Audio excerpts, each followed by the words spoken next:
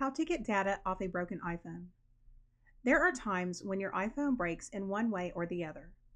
Either you get a broken screen or some other part of the iPhone becomes defective. In such situations, it is important to get data off a broken iPhone as soon as possible. In this video, you will see how to get data off a broken iPhone.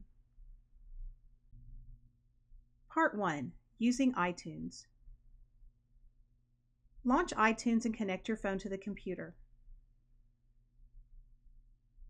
Enter the password and trust the computer. Next, select your device from iTunes. Click Restore iPhone and then click Restore to confirm.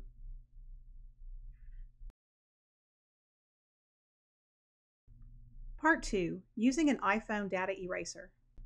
Launch iMyFone and connect your device to the computer.